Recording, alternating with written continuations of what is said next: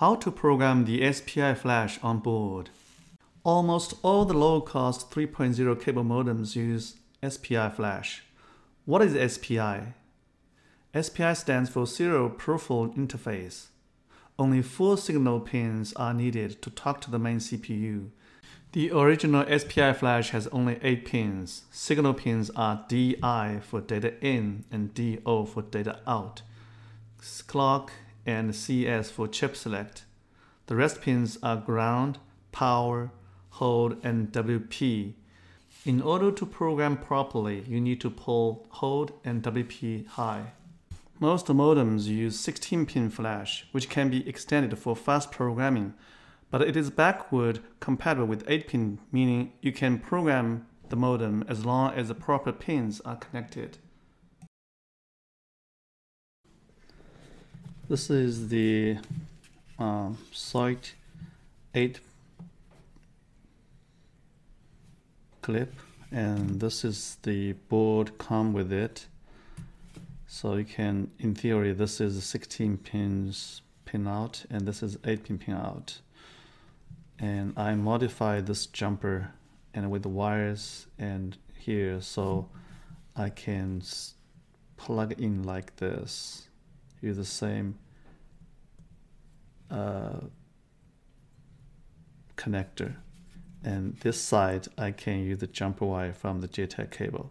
Now since we need to pull the WP and hold up so I can do some modification in here to uh, pull up all those here is the video showing I connected WP and hold to power pin to make the connection permanent. This is use solder to solder the proper pins together.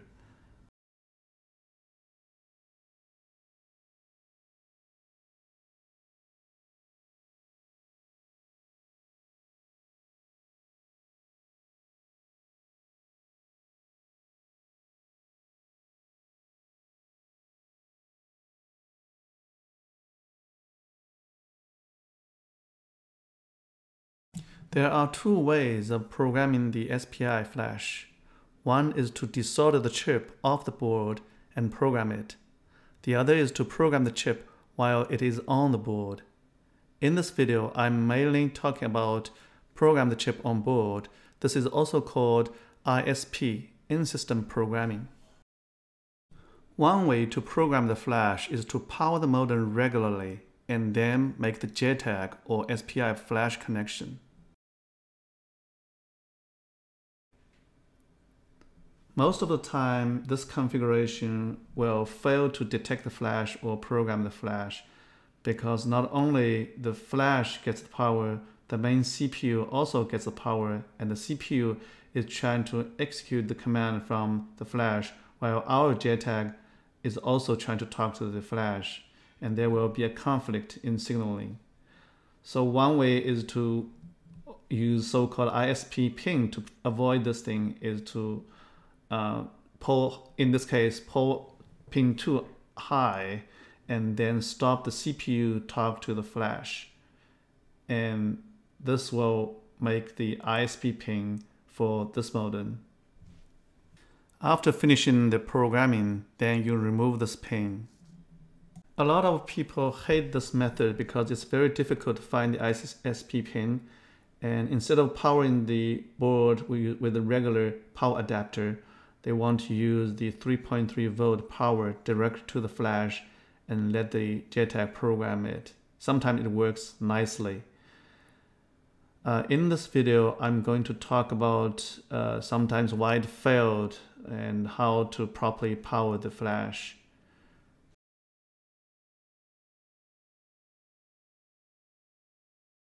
This is a module a lot of people talk about where they get the 3.3 volt from. This is called TTL and it has the USB connection and it seems to have a 3.3 volt output and people use this to power the chip and program it. Um, I failed on this modem and let's see why. So when this I use this multimeter. By the way, I highly recommend use this multimeter. Uh, each one should get one. And you see there's a 3.16 volt, which is not bad. And typically, if we get this voltage, it should work. However, let's see what happens if we connect it to the board and do we still have the proper voltage.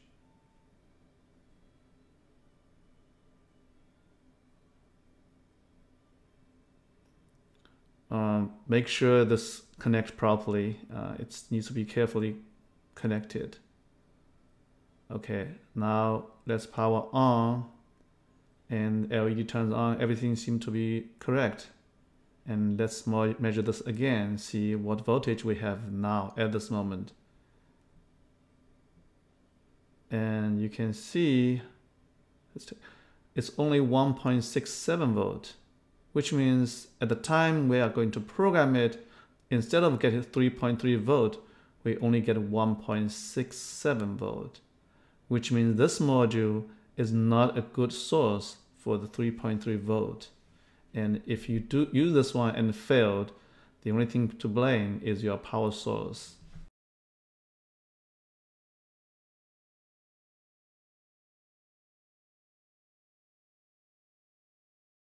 This is a DIY module of power supply. Uh, in here, I have a power regulator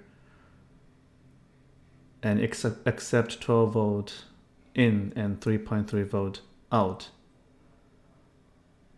I also put a voltage and amperage display so you can see the uh, voltage, its outputs. Use a regular power adapter 12 volt to power this power supply and you will see the output voltage is 3.28 volts. Now let's connect the uh, JTAG here. I just replaced those pins. Uh, by the way, I didn't modify the configuration. So here is the ground and here is the power uh, 3.3 volt pin. So now let's put the, plug the power on. You will see the power still stays at 3.25 volt, but the amperage is 460 milliamps. So in this configuration, the power uh, for the 3.3 volt needs 460 milliamps to be able to work properly. And you can never get such kind of uh, amperage from this TTL. And with this configuration set up, uh, the program is very smooth and not problem at all. So in conclusion, you should get a good power source and even though this one seemed to be a little bit more overkill, fancy, but at least it shows why it failed on TTL and why what kind of, of power we should get to be able to program. And don't blame the, the, the JTAG or something. You need to check your configuration. And forget about the TTL, get a good power source for 3.3 volt. Conclusion, do not use TTL as 3.3 volt power source. Get a good power source.